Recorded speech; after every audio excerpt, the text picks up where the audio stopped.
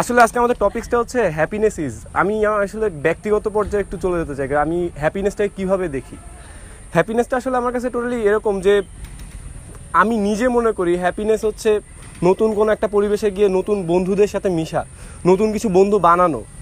আমি আসলে বন্ধুত্বের পর্যায়ে চলে যেতে চাই আসলে জিনিসটাকে নিয়ে। আসলে আমার মনে হয় প্রত্যেকটা সম্পর্কের মধ্যে না একটা বন্ধুত্ব থাকা দরকার।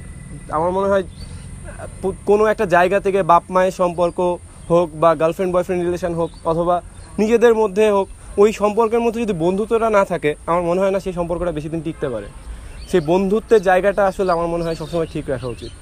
আর হ্যাপিনেস আমার কাছে আরও একটা জিনিস আছে যে আমি হ্যাপিনেস নিজের মতো করে বাঁচা আসলে।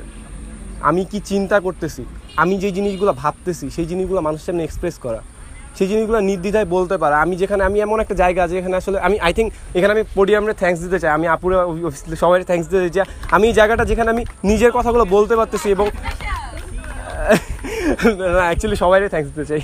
আমি অ্যাকচুয়ালি এখানে, আমি আমার নিজের কথাগুলো বলতে পারতেছি, যেখানে আমাকে কেউ বাধা দিবে না। যে, এই তুমি চুপ থাকো, তুমি ছোট, তুমি কোনো কথা বলবে না, তুমি এখানে বলতে পারবে না। এই জিনিসগুলো হচ্ছে না এখানে। সো এই জায়গাটা আসলে অনেক বড় একটা জিনিস। আমি হয়তো অনেক আমার একটা ব্যাপার আছে যে, আমি সবার সামনে গেলে তোতলাই।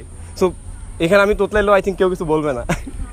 তো এরকম, তো আমার মনে হয় এমন একটা জায়গা যেখানে আমি আমার নিজের মতো করে কাজগুলো করতে পারব, আমি হয়তো আমার নিজের কথাগুলো বলতে পারব। হয়তো সেটা ঠিক না কোনো কোনো ক্ষেত্রে বাট সেই জিনিসগুলো আমি বলতে পারব। সো এই জিনিসটা আমার কাছে হ্যাপিনেস আবার অনেক কিছুই আছে, যেরকম আমি আমার ভার্সিটি লাইফে একটা এক্সপিরিয়েন্স শেয়ার করি, এই ফ্রেন্ডশিপ তৈরি করার ব্যাপারটা নিয়ে। যে আমি যখন ভার্সিটিতে ফার্স্ট আসলাম, আমার কাছে না অ্যাকচুয়ালি অনেক জোস লাগতেছিল জিনিসগুলো, যে মানে এখানে অনেক কিছু মানে আমি অনেক নতুন নতুন মানুষের সাথে মিশতে পারতেছি।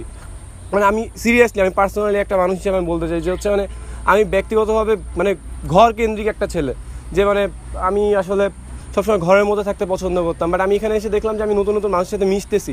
সিরিয়াসলি আমার ফ্রেন্ডরা হয়তো, যারা আমার খুব ক্লোজ ফ্রেন্ড তারা এখন বিলিভ করবে না যে হচ্ছে, আমি এই কথাগুলো বলতেছি, এগুলো অ্যাকচুয়ালি ঠিক না। আমি মানুষ, নতুন নতুন মানুষদের সাথে মিশতে পারতেছি মানুষ নতুন মানুষের সাথে পরিচিত হচ্ছি।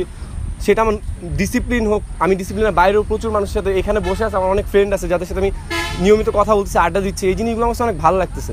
সিরিয়াসলি আর হ্যাপিনেস আসলে এটা তোর নিজের একটা ব্যাপার। আমি অনেক কিছু আছে, হয়তো আমি একটা জিনিস নিয়ে কষ্ট পাচ্ছি, আমি ওই জিনিসটা নিয়ে যদি অনেক কিছু ভাবি, তাহলে আমি অ্যাকচুয়ালি মানে ওই জিনিসটা নিয়ে আমি যত বেশি ভাববো তত বেশি দুঃখ হবে। আই থিঙ্ক আমার মনে হয় ফ্রেন্ডস যে জিনিসগুলো নিয়ে এত বেশি ভাবার দরকার কি? যেগুলো খারাপ, সেটা নিয়ে এত বেশি ভাবার দরকার নেই। অ্যাকচুয়ালি ভালো জিনিসগুলো নিয়ে যত বেশি ভাবো, আমরা যত বেশি পজিটিভ চিন্তা করব, আমার মনে হয় জিনিসগুলো আরও বেশি তত বেশি পজিটিভ হবে। আমাদের লাইফটা আমরা তত বেশি পজিটিভলি নিয়ে যেতে পারব। আর আমি জাস্ট মনে হয় দুঃখের মধ্যেও জাস্ট লাস্ট একটা কথা আমি জাস্ট শেষ করতেছি যে, দুঃখের মধ্যেও অ্যাকচুয়ালি হ্যাপিনেস আছে। জাস্ট সেটা আমি এটা বলতেছি, যখন আমি একটা গল্পের বই পড়তেছি, পড়তে পড়তে লাস্টে গিয়ে আমার কাছে মনে হচ্ছে যে, হুমায়ুন আহমেদ লাস্টে কেন এই জিনিসটা করল? আর লাস্টে তো শেষ করতে পারতো। সো এই জিনিসটা দিয়েও আমি মানে হ্যাপিনেস পাচ্ছি লাস্টে গিয়ে দুঃখ পাচ্ছি বাট লাস্টে গিয়ে আমার কাছে ভালো লাগতেছে। এটাই হ্যাপিনেস আমার কাছে। থ্যাংক ইউ ধন্যবাদ সবাইকে।